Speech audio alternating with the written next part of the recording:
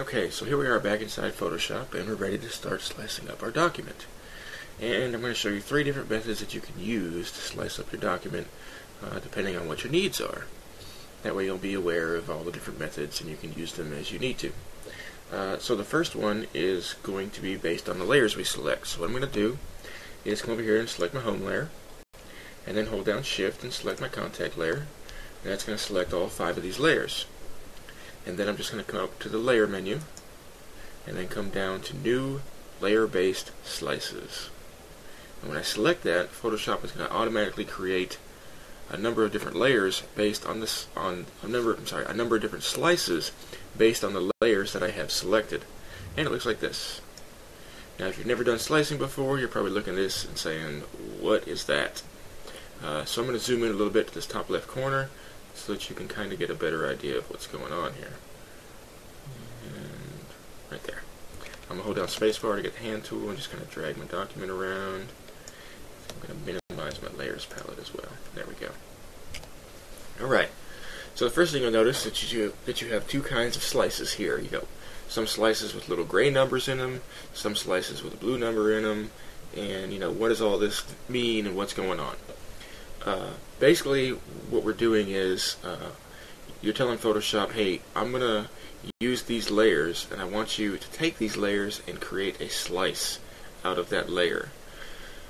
But because images are made up of pixels and pixels are square, you can't just simply take a chunk of pixels out of the document without slicing up the remainder of the document. You have to use up all the pixels in the document. So when you come in and you tell Photoshop, hey, use this layer to create a slice, Photoshop is going to say, well, okay, I'll create that slice, but I'm also going to create all these other slices.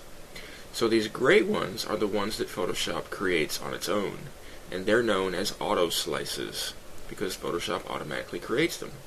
But this blue one right here is called a user slice and it's you know you're probably thinking why is this a user slice when I didn't create it? Well this is considered to be a user slice because you told Photoshop use this layer that I'm telling you to use to create this slice. So it becomes a user slice. Um, in a sense it's a user slice. Really it's a layer based slice. And in order to make it an actual full-fledged user slice you have to promote it but we'll get to that in a minute. Um, you'll see that this pattern repeats itself. You got this user slice up here, and each slice is numbered, starting with 0, 1, and then 0, 2. My user slice is 0, 3, and this slice is 0, 4, and this one down here is 0, 5. Then if I come down to my next uh, slice, you'll see, again, I have this big long, long one over here, and then one underneath.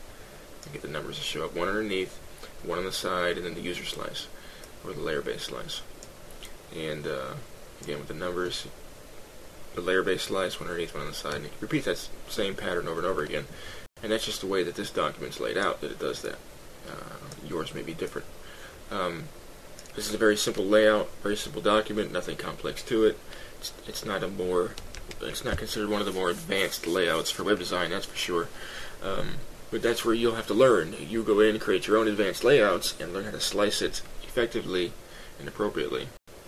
So um, that's one way, the layer-based way. I don't particularly uh, like that way, uh, although it does have its uses. It's just in this case, the use is not very effective because each one of these slices uh, is a different width.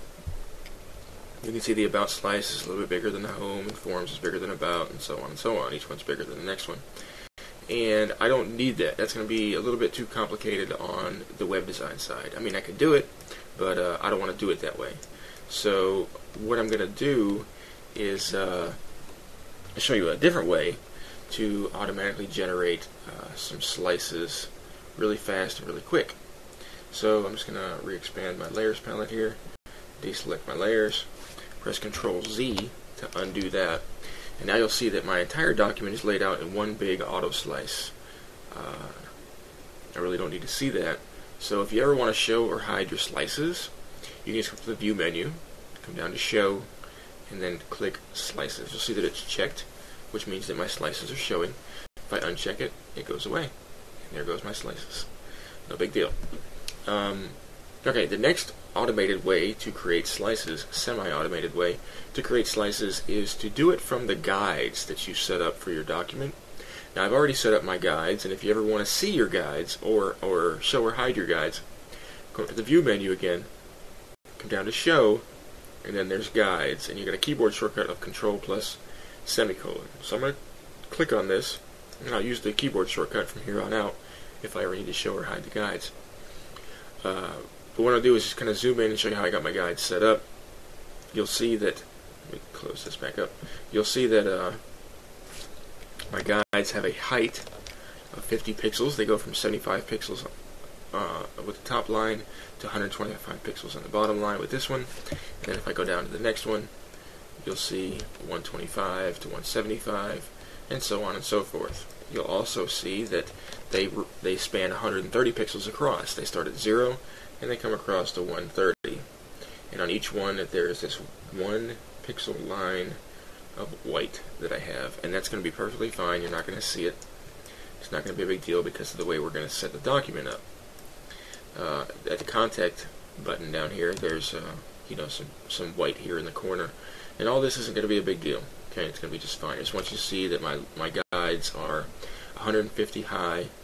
I mean, uh, 50 pixels high by 130 wide uh, for these buttons. For my footer, my guides are, this guide is 85 pixels high, and of course it's the length of the document, which is 800 pixels.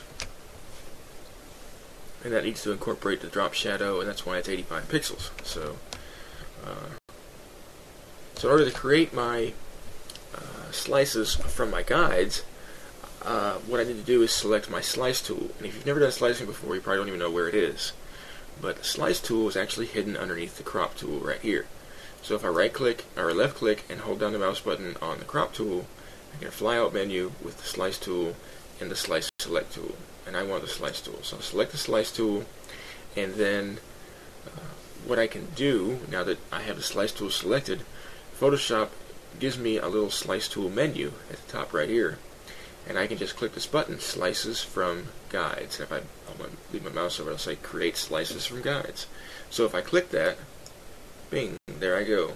16 slices, all created uh, symmetrically from the guides that I've laid out. Now I don't need 16 user-based slices, user-created slices. I don't need those. I only need these five here and one for my footer.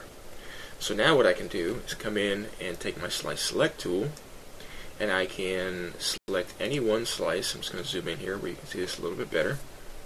You'll see that when I select it, I get a bounding box with some handles uh, on all four sides and all four corners, and I can readjust the size of it uh, if need be. Make it bigger, make it wider, make it smaller, whatever I need to do, I can do uh, with these guides here.